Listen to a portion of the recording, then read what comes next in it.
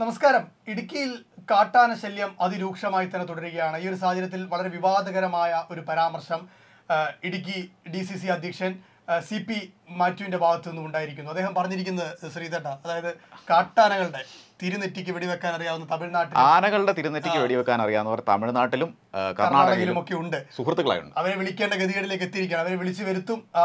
അത് ഏത് നിയമം ഉണ്ടെങ്കിലും നിയമ തടസ്സങ്ങൾ ഉണ്ടെങ്കിലും അതിനെയൊക്കെ അതിജീവിച്ച് തിരുനെറ്റിക്കാൻ വെടിവെക്കേണ്ടി വന്നാൽ അങ്ങനെ വെടിവെക്കും എന്നുള്ള ഒരു പരാമർശമാണ് നടത്തിയിരിക്കുന്നത്. പക്ഷേ വിഷയത്തിൽ ഇതുവരെയും സി പി എം അദ്ദേഹത്തിനെതിരെ പ്രതികരണം നടത്തിയിട്ടില്ല എന്നുള്ളതും വളരെ ശ്രദ്ധേയമാണ്. പക്ഷേ സി പി എം പ്രതികരിച്ചില്ലെങ്കിലും ആദ്യമായി വനമന്ത്രി എ കെ ശശീന്ദ്രൻ ഒരു പ്രതികരണം നടത്തിയിട്ടുണ്ട്.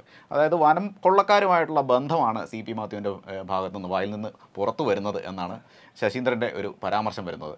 അതുപോലെ തന്നെ ഇത് നിയമം കയ്യിലെടുക്കുന്ന ഒരു രീതിയാണ് എന്ന രൂക്ഷമായ വിമർശനവും അദ്ദേഹം മന്ത്രി ഉന്നയിക്കുന്നുണ്ട്. സി പി മാത്യു വളരെ നമുക്കറിയാം ഇടുക്കിയിലെ ഒരു രാഷ്ട്രീയ സാഹചര്യവും അവിടുത്തെ ഒരു ജീവിത സാഹചര്യങ്ങളും അറിയാവുന്നതാണ്. ഒരു പ്രത്യേകതരം ടെറൈനാണ്. അവിടെ രാഷ്ട്രീയവും കുറച്ച് റഫാണ്.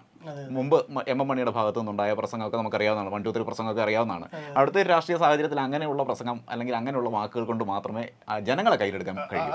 നിലവിൽ ഇപ്പോഴുള്ള ഒരു സാഹചര്യം കാട്ടാനകളുടെയും മറ്റ് കാട്ടുമൃഗങ്ങളുടെയും ശല്യം വളരെ രൂക്ഷമായി തുടരുകയാണ്. അപ്പോൾ രാഷ്ട്രീയ നേതാക്കൾ അതിനനുസരിച്ച് തന്നെ പെരുമാറും. ഇപ്പോൾ കഴിഞ്ഞ ആഴ്ച തന്നെ നമുക്കറിയാം അരിക്കൊമ്പൻ ആനിറങ്കൽ റേഷൻ കട തകർത്ത് അരിയെടുത്ത ആ ഒരു സംഭവത്തിൽ സി പി എം തന്നെയാണ് പ്രതിഷേധവുമായി വഴിയിലിറങ്ങിയത്. എം എം മണിയെ പോലുള്ള നേതാക്കൾ ഇറങ്ങി റോഡ് തീർച്ചയായും. അതെ. അപ്പോൾ അങ്ങനെയുള്ള ഒരു രാഷ്ട്രീയ സാഹചര്യം നിലവിലുള്ള ഇടുക്കിയിൽ സി പി മാത്യുവിനെ പോലുള്ള ഒരു ഡി സി സി അധ്യക്ഷന്റെ ഭാഗത്തുനിന്ന് ഇങ്ങനെ തന്നെ ആയിരിക്കും ഒരു പ്രതികരണം ഉണ്ടാവുക.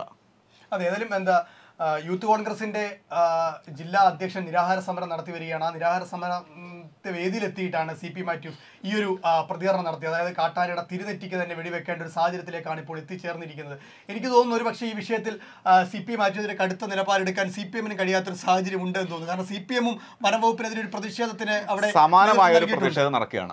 മലയോര കർഷകരുടെ പ്രശ്നത്തിൽ ഒരുപക്ഷെ കക്ഷി രാഷ്ട്രീയ ഭേദമില്ലാതെ ഒരു പൊതു വികാരം ഉയർന്നു വരുന്ന ഒരു സാഹചര്യം ഉണ്ടാകുന്നുണ്ട്. അത് പക്ഷേ ഒരുപക്ഷെ ആ പൊതുവികാരം സർക്കാരിനെ കൂടുതൽ സമ്മർദ്ദത്തിലാക്കുന്നുണ്ട്. തീർച്ചയായും. എന്നുള്ളത് വനംവകുപ്പിനെയും സർക്കാരിനെയും കൂടുതൽ സമ്മർദ്ദത്തിലേക്ക് കൊണ്ടുപോകുന്ന ഒരു സമീപനമാണ് ഇപ്പോൾ ഈ രാഷ്ട്രീയ നേതാക്കളുടെ ഭാഗത്തു നിന്ന് ഉണ്ടാകുന്നത് സി പി എമ്മിന് ഒരിക്കലും ഇതിന് എതിർത്ത് പറയാൻ കഴിയില്ല. കോൺഗ്രസ് അങ്ങനെ കൃത്യമായ ഒരു രാഷ്ട്രീയ നിലപാട് സ്വീകരിച്ചിരിക്കുന്നതെന്ന് വേണം നമുക്ക് ഇന്ന് കൺക്ലൂഡ് ചെയ്യാൻ കഴിയുക. എന്തായാലും ഈ ഒരു വിഷയം രാഷ്ട്രീയ സമ്മർദ്ദം എന്ന നിലയിൽ സർക്കാരിലേക്ക് എത്തും. സി പി എം ഈ വിഷയത്തിൽ ഇടുക്കിയിലെ ഈ വന്യജീവി ആക്രമണ വിഷയത്തിൽ സ്വീകരിച്ചിരിക്കുന്ന നിലപാട് കൂടിയാകുമ്പോൾ സി പി എം തന്നെ പറയുന്നുണ്ട് വയനാട്ടിലല്ല ഇടുക്കിയിലാണ് ഏറ്റവും കൂടുതൽ വന്യജീവി ആക്രമണങ്ങൾ ഉണ്ടാകുന്നത് എന്ന് സി പി എം തന്നെ പറയുന്നുണ്ട്. ഇടുക്കി ഘടകം പറയുന്നുണ്ട്. അപ്പോൾ തീർച്ചയായും സർക്കാരിന് നടപടിയെടുത്തേ പറ്റൂ. ആർ ആർ ടി സംഘം ഇടുക്കിയിലേക്ക് വരുന്നുണ്ട് എന്ന് പറയുന്നുണ്ട്. പക്ഷേ ഇതുവരെ അവിടെ എത്തിയിട്ടില്ല.